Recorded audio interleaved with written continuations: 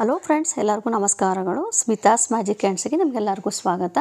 Friends ನಾನಿವತ್ತು ನಿಮಗೆ ಉಪ್ಪಿನ ದೀಪಾರಾಧನೆ ಬಗ್ಗೆ ಕೆಲವೊಂದು ಮಾಹಿತಿಗಳನ್ನ ಕೊಡಬೇಕು ಅಂತ ಅಂದ್ಕೊಂಡಿದ್ದೇನೆ ಏನಪ್ಪ ಅಂತಂದರೆ, ಒಂದು ಕಾಮನ್ ಕ್ವಶನ್ ಏನು ಅಂತಂದರೆ, ವರಮಹಾಲಕ್ಷ್ಮಿ ಹಬ್ಬದ ದಿವಸ ನಾವು ಉಪ್ಪಿನ ದೀಪವನ್ನು ಹಚ್ಬೋದಾ ಅಂಥೇಳಿ ನೀವು ತುಂಬ ಜನ ಕೇಳ್ತಾ ಇದ್ದೀರಿ. ಹಾಗಾಗಿ ಇವತ್ತು ನಾನು ಕೆಲವೊಂದು ವಿಷಯಗಳನ್ನ ಇವತ್ತು ನಿಮಗೆ ತಿಳಿಸ್ಕೊಡ್ಬೇಕು ಅಂತ ಅಂದ್ಕೊಂಡಿದ್ದೇನೆ ಏನಪ್ಪ ಅಂತಂದರೆ, ನಾವು ಉಪ್ಪಿನ ದೀಪಾರಾಧನೆ ಮಾಡುವುದು ನಮ್ಮ ಕಷ್ಟಗಳ ಪರಿಹಾರ ಮಾಡ್ಕೊಳ್ಳೋದಕ್ಕೋಸ್ಕರ. ಅಂದರೆ, ಒಂದು ಹಣದ ಸಮಸ್ಯೆಯನ್ನು ನಾವು ಬಗೆಹರಿ, ಬಗೆಹರಿಸ್ಕೊಳ್ಳೋದಕ್ಕೋಸ್ಕರ ನಾವು ಈ ಉಪ್ಪಿನ ದೀಪಾರಾಧನೆ ಮಾಡ್ತಾ ಇರ್ತೇವೆ.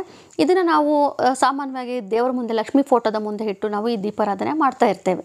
ಆದರೆ ಶುಕ್ರವಾರನೇ ಬಂದಿರೋದ್ರಿಂದ, ವರಮಹಾಲಕ್ಷ್ಮಿ ಹಬ್ಬ, ಅವತ್ತು ಕೂಡ ನಾವು ಈ ದೀಪಾರಾಧನೆ ಮಾಡ್ಬೋದಾ ಅಂಥೇಳಿ ನೀವು ಕೇಳ್ತಾ ಇರೋದ್ರಿಂದ ಏನಪ್ಪ ಅಂತಂದರೆ, ವರಮಹಾಲಕ್ಷ್ಮಿ ಹಬ್ಬದಲ್ಲಿ ನಾವು ಸಪ್ರೇಟಾಗಿ ಕಳಸ ಇಟ್ಟು ವರಮಹಾಲಕ್ಷ್ಮಿ ಹಬ್ಬವನ್ನು ಆಚರಣೆ ಮಾಡ್ತೇವೆ.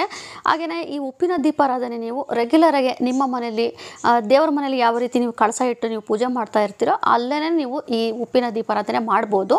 ಸಪ್ರೇಟಾಗಿ ವರಮಹಾಲಕ್ಷ್ಮಿಗೆ ಅಂತೇಳಿ ನೀವು ಹಚ್ಚೋ ಹಚ್ಚಬಾರ್ದು ಅಂತಲ್ಲ, ಹಚ್ಚೋದೇನು ಅವಶ್ಯಕತೆ ಇಲ್ಲ.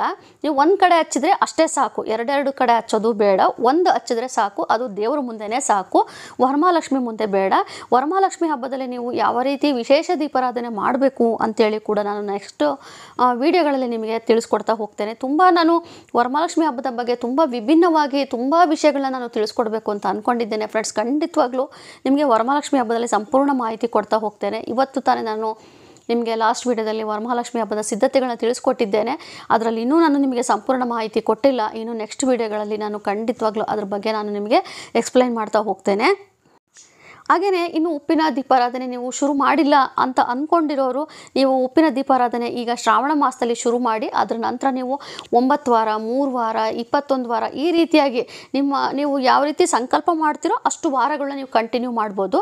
ಆಮೇಲೆ ತುಂಬ ಜನ ಕೇಳ್ತಿರೋದು ಏನು ಅಂತಂದರೆ ನನಗೆ ಉಪ್ಪಿನ ದೀಪಾರಾಧನೆಯನ್ನು ನಾವು ಡೈಲಿ ಹಚ್ಬೋದಾ ಅಂತೇಳಿ ಖಂಡಿತವಾಗ್ಲೂ ನೀವು ಹಚ್ಬೋದು. ಉಪ್ಪನ್ನು ಯಾವಾಗ ಬದಲಿಸಬೇಕು ಅನ್ನೋದಾದರೆ ನೀವು ದಿನನಿತ್ಯ ಹಚ್ತಾ ಇದ್ದೀರಿ ಅನ್ನೋದಾದರೆ ಗುರುವಾರ ಸಂಜೆ ಒಂದು ಇನ್ನೂ ಸೂರ್ಯ ಉದಯ ಸಾರಿ ಸೂರ್ಯಾಸ್ತ ಆಗೋದ್ರೊಳಗೆ ನೀವು ಈ ದೀಪಾರಾಧನೆ ಅಲ್ಲಿ ಮಾಡಿರುವಂಥ ಉಪ್ಪನ್ನು ಬದಲಾಯಿಸ್ಬೇಕು. ಅಂದರೆ ಒಂದು ಸಾಯಂಕಾಲ ಐದೂವರೆ ಒಳಗೆ ನೀವು ಆ ಉಪ್ಪನ್ನು ತೆಗೆದು ಚೇಂಜ್ ಮಾಡಿ ತೆಗೆದಿಟ್ಬಿಡಬೇಕು. ನೀವು ಅದ್ರ ನಂತರ ನೀವು ಹೊಸದಾಗಿ ನೀವು ಉಪ್ಪನ್ನು ಹಾಕಿ ಶುಕ್ರವಾರ ಮಾಡಿ.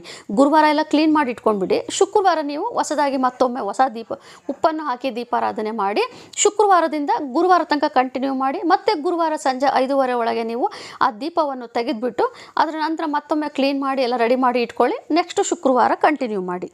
ಈ ರೀತಿಯಾಗಿ ನೀವು ದಿನನಿತ್ಯ ಉಪ್ಪಿನ ದೀಪಾರಾಧನೆ ಮಾಡ್ಬೋದು. ಇಲ್ಲ ನಾವು ಇಷ್ಟೇ ವಾರಗಳು ಹಚ್ತಾ ಇದ್ದೀವಿ ಅಂತ ಅಂತ ನೀವು ಸಂಕಲ್ಪ ಮಾಡಿಕೊಂಡ್ರೆ ಅಷ್ಟೇ ವಾರಗಳನ್ನ ಹಚ್ಚಿ ಕೂಡ ಬಿಡ್ಬೋದು. ಅಥವಾ ನಾವು ಪ್ರತಿ ಶುಕ್ರವಾರ ಶುಕ್ರವಾರ ಹಚ್ತಾ ಇದ್ದೀನಿ ಅನ್- ಅನ್ನೋದಾದರೆ ಶುಕ್ರವಾರನೂ ಕೂಡ ಹಚ್ಬೋದು. ಈ ರೀತಿಯಾಗಿ ನೀವು ಯಾವ ರೀತಿ ಸಂಕಲ್ಪ ಮಾಡಿಕೊಂಡು ಪೂಜೆ ಮಾಡ್ತಿರ್ತೀರೋ, ಉಪ್ಪಿನ ದೀಪಾರಾಧನೆ ಮಾಡ್ತಾ ಇರ್ತೀರೋ, ಅದೇ ರೀತಿಯೇ ನೀವು ಉಪ್ಪಿನ ದೀಪಾರಾಧನೆ ಕಂಟಿನ್ಯೂ ಮಾಡ್ಬೋದು.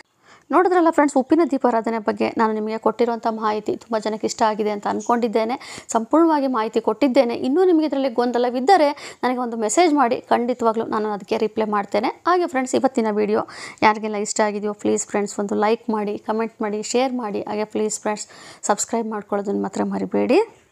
Thank you